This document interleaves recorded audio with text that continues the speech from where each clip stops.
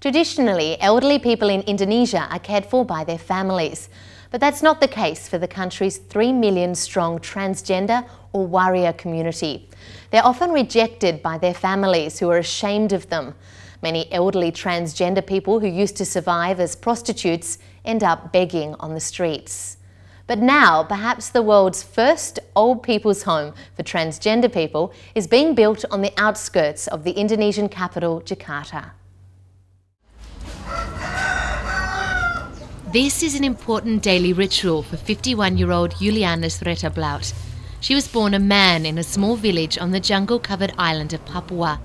Her parents were both respected community teachers.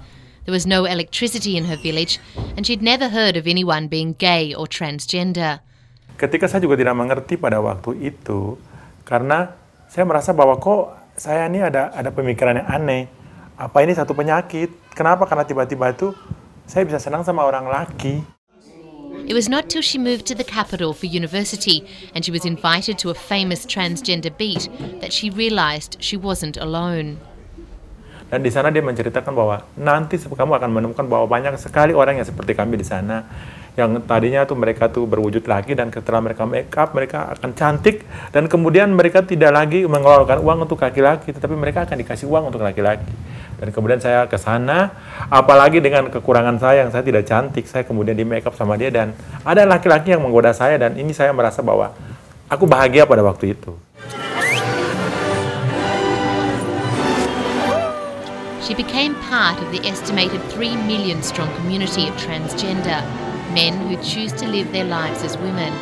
They're known as warrior in Indonesia, combining the words for man and woman.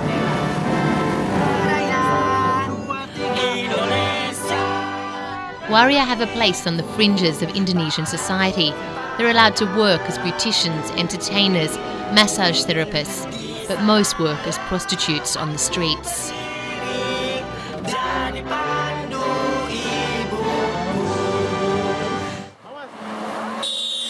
That's what 17 year old Yuli ended up doing, selling herself near some railway tracks in the capital for nearly 20 years. It was during her time on the streets that Yuli heard her parents had died. Kakak saya sebabnya mencarikan saya pada waktu gara-gara perbuatan kamu ibu jadi meninggal.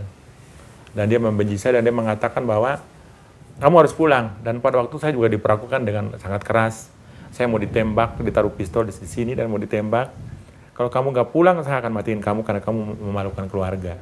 Jadi pada waktu itu semua keluarga saya membenci saya dan hubungan itu putus. The way out was through education. Yuli enrolled herself in university and became the first transgender in Indonesia to gain a law degree from a leading Islamic university. It was a day to celebrate. Now she focuses on fighting for greater rights for the warrior community. Recently, she nominated herself to become a commissioner with Indonesia's top state human rights organisation. Her community now calls her Mama Yuli, and she heads an association for the Indonesian warrior. As she approaches 60, she's now focusing her attention on the welfare of her aging friends. Orang menganggap bahwa mereka sudah tua dan tidak berguna. Untuk apa? Repotin kami saja. Jadi akhirnya memang mereka itu akhirnya hidup seperti apa adanya. Mereka jadi tukang minta-minta, atau mereka jadi tukang pijit, atau mereka jadi istilahnya apa saja yang bisa mereka lakukan untuk mempertahankan hidup. Jadi aku pikir bahwa ini perlu kita tangani. So she's turning her home on the outskirts of the city into quite possibly the world's first old people's home for the transgender. Yuli already has an 800 long waiting list. And at the moment, three people are living with her. Including Mbak Yoti. Ini aku masih umur muda 30-an waktu di Malaysia ini foto.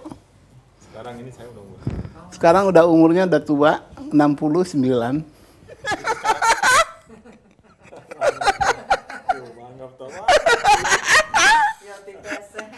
The others say Yoti has four boyfriends on the go.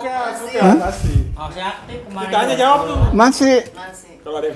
Umurnya masih 23, jalan 24 orang Serang. Kalau sudah mas biar udah tua begini tapi masih laku. Yoti's family tried hard to change her. Terus di strap itu lihat matahari tidur tuh di kas speaker dan matahari di atas tapi belum kapok kan kalau bapak baik mama baik enggak dua-duanya sama kenceng itu kasur punya mukul-mukul tuh yang biasa kasur dipukul tuh rot yang dari rotan itu hal-hal dipukul pakai itu When they found him cuddling in a room with a man, they gathered the extended family together and kicked him out. Waktu itu pas malam hujan 12 malam tuh sampai setengah satu hujan turun. Kamu keluar. Keluar. Bisa lo begini ya? Bagas aku. Kamu mau mati, kamu mau hidup, kamu nggak boleh ketemu aku. Yoti was still a teenager.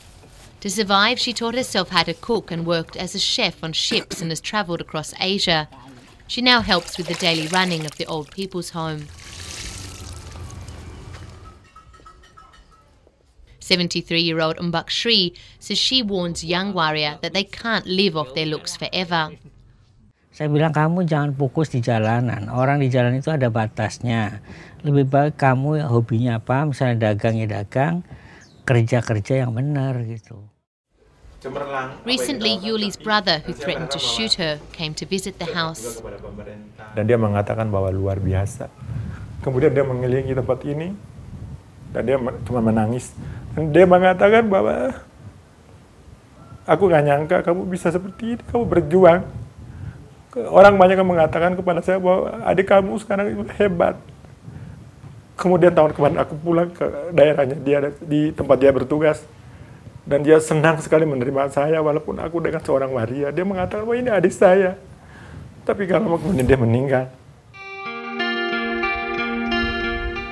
They still need more money to realize their dream. and are hoping that a donor will come forward so that the first floor of the old people's home will be completed later this year to provide a much needed home for the elderly warrior who would otherwise end up on the streets.